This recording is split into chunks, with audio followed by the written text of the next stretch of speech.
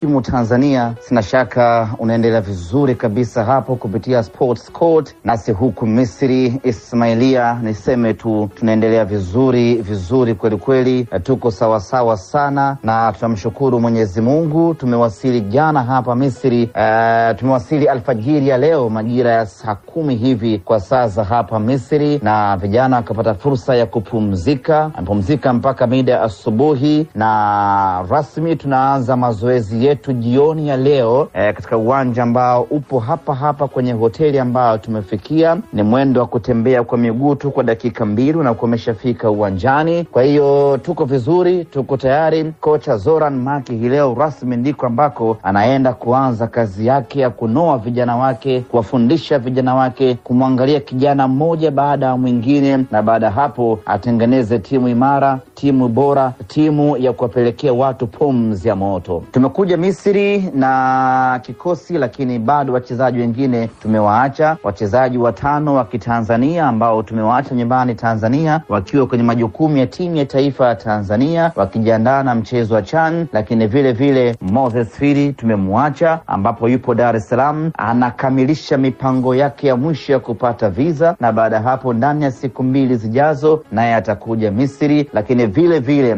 wachezaji wengine ambao bado hatujawatambulisha ndani ya siku tatu hizi tutawatambulisha na wenyewe vile vile watajiunga na timu. Hivyo hadi kufikia eh, mwanzoni mwa wiki ijayo kila kitu kitakuwa kimekamilika na kambi itakuwa imesheheni wachezaji wetu wote, na hapo tutaanza maandalizi rasmi ya kujiandaa kwa ajili ya msimu ujao. Tumeanza mapema maandalizi, tumeweka kambi sehemu nzuri, sehemu shwari, sehemu tulivu, kando kando ya mfereji wa Suez Canal. Tuko hapa tunafanya maandalizi mazuri na tunaamini kabisa kupitia pre-season hii tunakwenda kutengeneza timu bora, timu imara, timu ya ushindani kweli kweli.